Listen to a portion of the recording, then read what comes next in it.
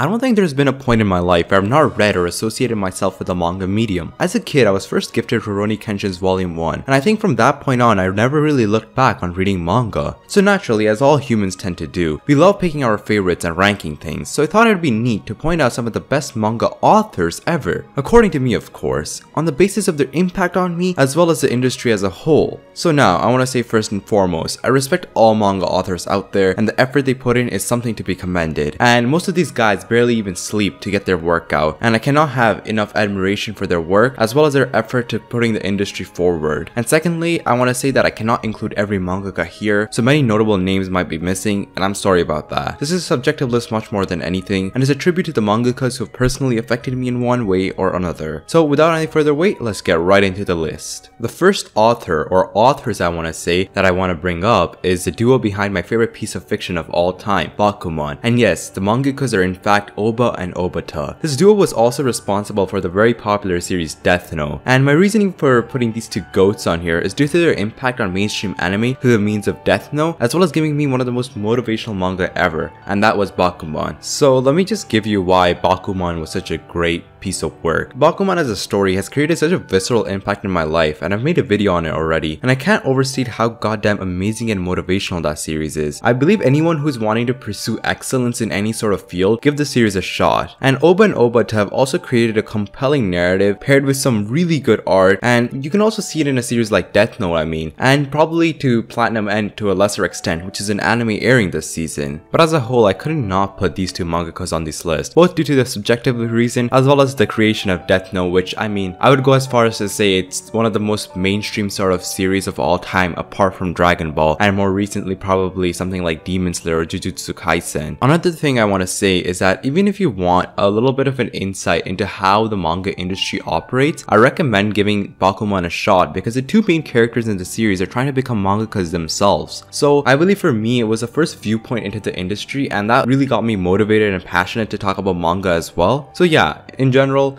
Oba and Obata for their compelling narratives, I had to include them as well as my, you know, very very big subjective preference towards them. Now the next mangaka I want to talk about is very possibly the man with the golden touch and the creator of my favorite piece of long-term storytelling as well as the best-selling manga of all time and that is in fact Eiichiro Oda. Now I think if there was a pantheon of greats of creative personalities as well as great authors, Oda would rank highly amongst them all. He's made One Piece, a story which publishes chapters every week last for over two decades. And if that's not dedication and resolve, as well as testament to mental will, I don't know what is. My reasoning for admiring Oda is not just because he made One Piece last for this long while not staling in its narrative, but it's also because of his little other decisions that he takes to elevate his manga. He does this thing where he sticks to this peculiar style of drawing throughout the series, where it's an outlandish and exaggerated look, and this is to elevate the character's emotions as well as, you know, suit the overall narrative of One Piece as well. And now, if you've seen Oda's other realistic art, which he includes in his volume covers, you would see that this man can draw realism really, really well. But to stick to this one art style just to suit the narrative and the overall themes of One Piece, that takes courage and commitment. And I'm not sure any other author would be able to do this for not just one or two, but for 20 plus years. And finally, I don't think anybody can argue that Oda is a goat of long-term storytelling, which I think is best in fiction. We have things set up in chapter 100 or 200 in One Piece, which come into relevance in chapter 900 or 1000. So overall, I think Oda has to be here. He's simply a legend of the industry,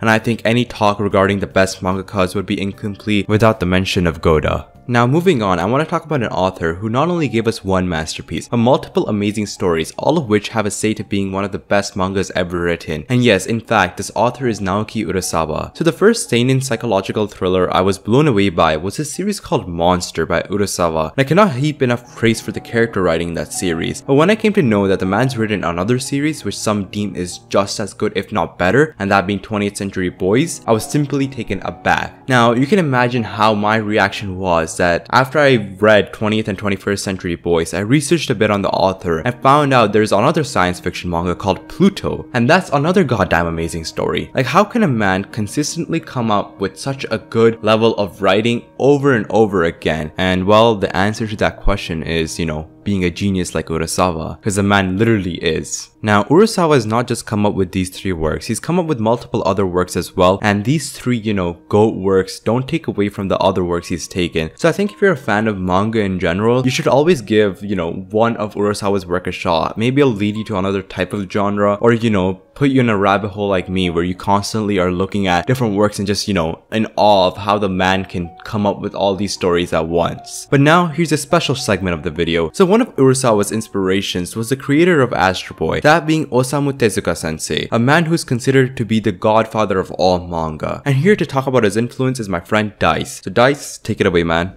I was thinking a lot about how to convey the greatness of Osamu Tezuka in these two minutes I've been given. It's really hard because there's far too many series to just do a simple recommendation here, and honestly I don't feel I'm really equipped to do justice to any of them in particular just yet, hence why I don't have a Tezuka video on my channel just yet.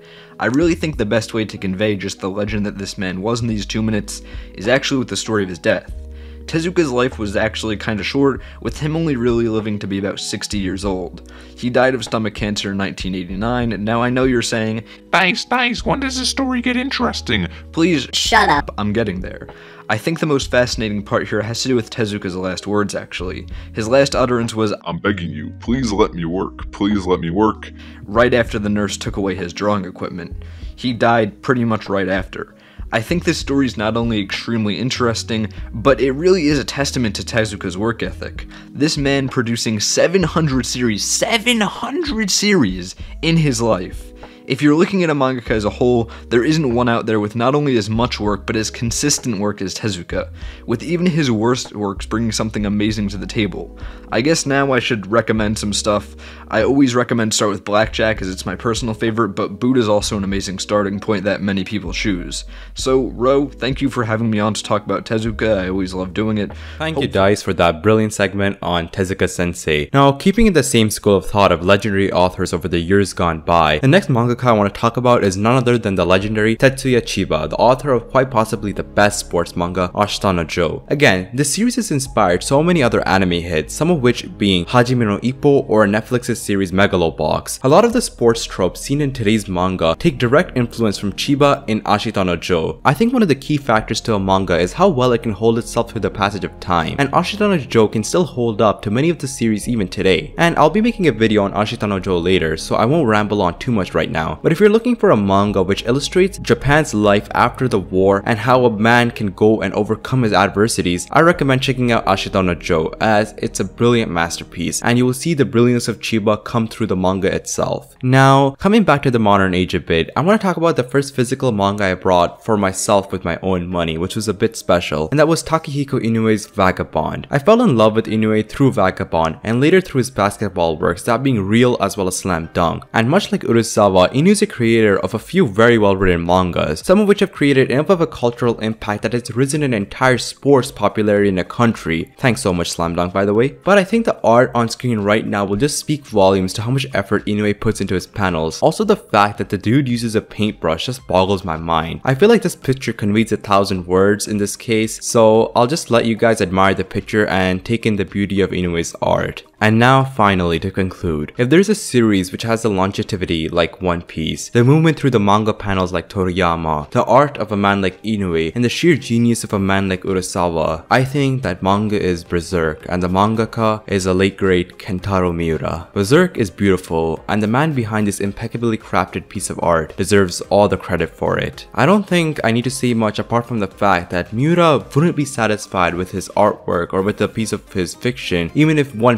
pixel wasn't to his liking, and he would go into pixel perfect detail to make it as he wanted it to be. That's a mangaka who has dedicated his life to making sure his manga achieves excellence. And now sitting here, you can't retrospectively help but feel a little bit sad when you see Miura's work at the age of even 13 and 14 in his teenagehood. You know that this guy was not just talented, but he was hardworking and made sure to, you know, elevate his talent at every step possible. Now, instead of making this, you know, a sad video on the harsh world of the manga industry and the demanding conditions the authors are put through, I want to celebrate Kentaro Miura's life. And I think as a manga community, we can celebrate the countless inspirations he's provided to everybody around the world. And this is not just in the manga industry, but the industry outside of it as well. Kentaro Miura is my favorite as well as the best mangaka in my eyes. And with that, I want to say thank you, Miura. And thank you all for watching this video. And once again, I apologize if your favorite mangaka wasn't in this video. For example, I'm not an avid reader of horror manga, so people like Junji Ito weren't in this video. But I'll be the first to say that Junji Ito is one of the pillars of the manga industry as well, and his work deserves just as much praise. But unfortunately, because I've not invested myself too much into it, I just could not put him in this list. And I hope you guys understand that. But be sure to leave your list of the mangakas which inspired you, or mangakas you feel that inspired the industry in the comment sections down below. And that's it for the video. Thanks for watching and subscribe.